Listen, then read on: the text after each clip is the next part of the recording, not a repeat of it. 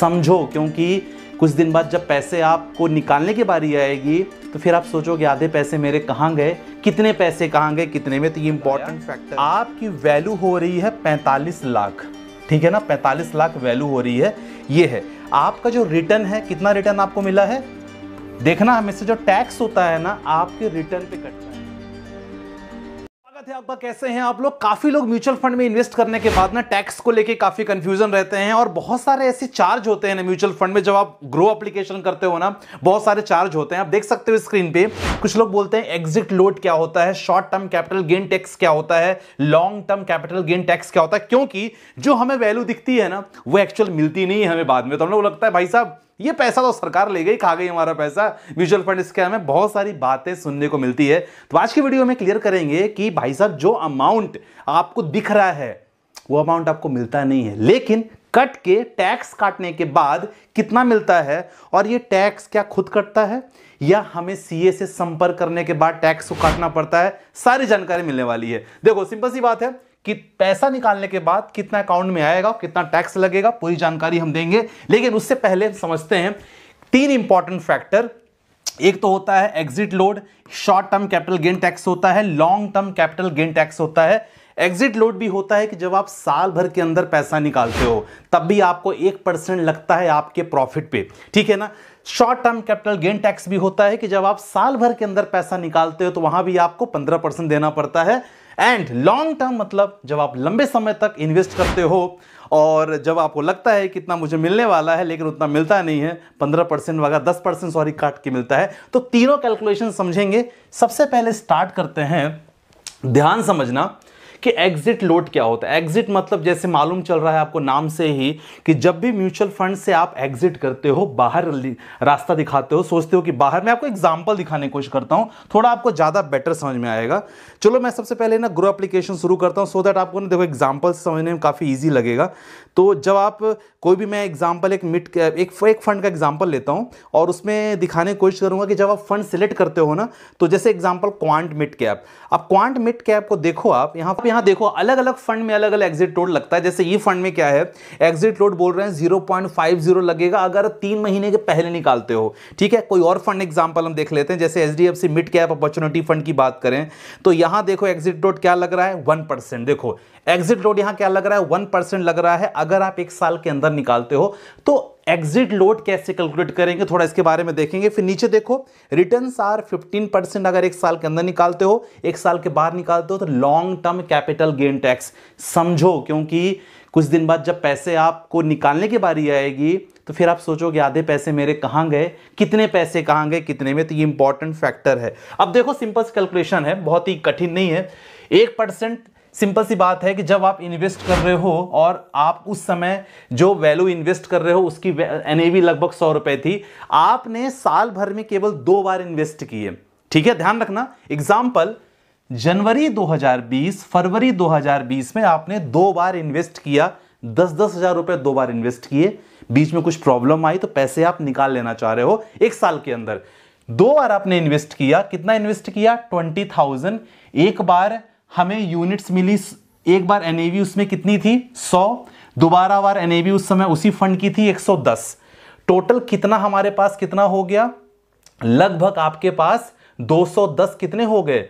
210 आपके उस समय टोटल एनएवी इतना हो रही थी। अब आप देखो जब भी आपने इन्वेस्ट किया, एक बार जब आप उसकी एनएवी 100 थी तो आपको कितने यूनिट्स मिल गए? 100 यूनिट ध्यान रखना यार, टेंशन मत लेना समझने की। जो आपने अमाउंट इन्वेस्ट किया सौ रुपए नेवी थी तो इसको जब डिवाइड कर दोगे ना तो यह आपको यूनिट्स निकल जाएगा ठीक है? यहाँ डिवाइड करोगे इसके साथ तो आपको यूनिट्स मिल गया।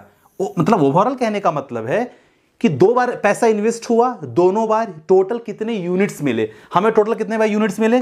191 यूनिट्स हमें मिले क्योंकि बंदे ने दो ही बार पैसे लगाए साल भर में। बाकी बार पैसे नहीं लगा पाए पैसे उसके पास थे नहीं लेकिन उसी साल पैसा वो निकालना चाहा। सॉरी टोटल एक सौ इक्यानवे यूनिट्स मिल गया। करेक्ट ठीक है, अब वो बंदा नवंबर में पैसा निकालना चाह रहा है।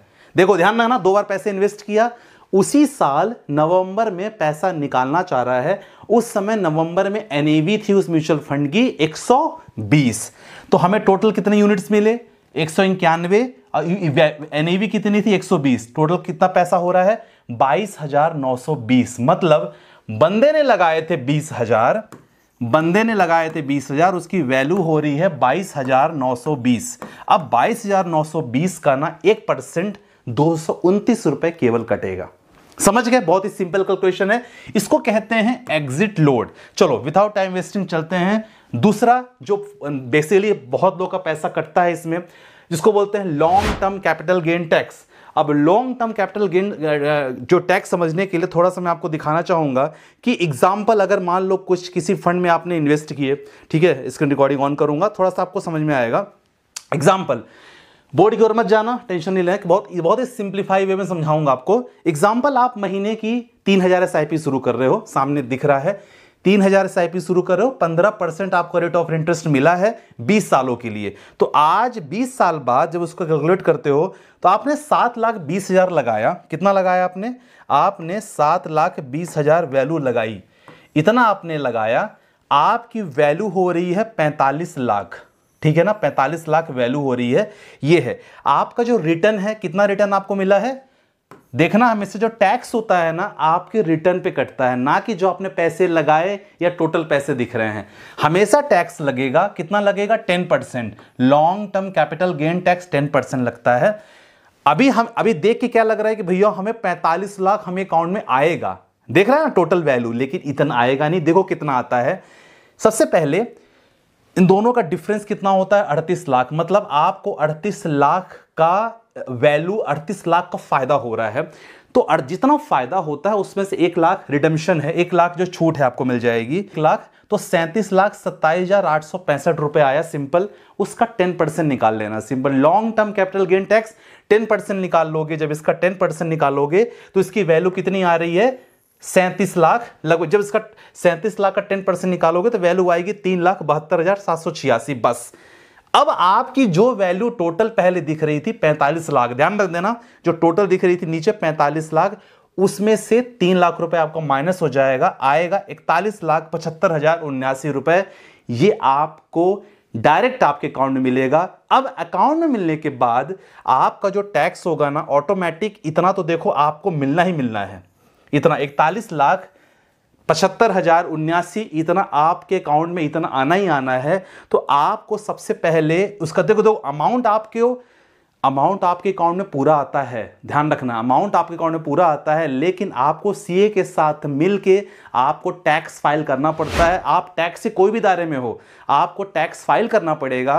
टैक्स फ़ाइल करने के बाद उतना अमाउंट कटेगा और फाइनल आपको ना forty one lakh seventy five thousand seventy nine rupees आएगा क्योंकि काफ़ी लोग के मन में डाउट रहता है। क्या बोलते हैं कि सर अपने आप कट के आएगा कि आ, मुझे सीए करेगा? देखो यार टैक्स वगैरह अमाउंट आपके अकाउंट में पूरा आएगा, लेकिन सीए के साथ मिलके आपको उतना टैक्स फ़ाइल करवाना पड़ेगा, तब जाके आपको अकाउंट उतना करेगा। तो काफ़ी लोग बचाने की कोशिश भी करते हैं, इसलिए को हमेशा कंफ्यूजन रहता है तो ये चीज़ हमेशा ध्यान रखना। आपको सीए के साथ मिलके सारा जो लॉन्ग जो कैप जितना भी टैक्स है ना, पूरा सीए के साथ मिलकर आपको टैक्स वाला पूरा गड़ी समझना होगा। और समझने के बाद उसको टैक्स के लिए फ़ाइल करेंगे, तब आपको वो रिटर्न आपको मिलेगा। तो ध्यान रखना, वो अमाउंट कटेगा कटेगा ही। तो ये समझ गए हम long term capital gain tax अगला है शॉर्ट टर्म शॉर्ट टर्म बहुत ही सिंपल है। इन्वेस्ट अगर आपने एक लाख रुपए किया रिटर्न आपको दो लाख में मिल रहा है। जो भी डिफरेंस है, उसका पंद्रह परसेंट आपको लगेगा। तो पंद्रह परसेंट मतलब पंद्रह हज़ार।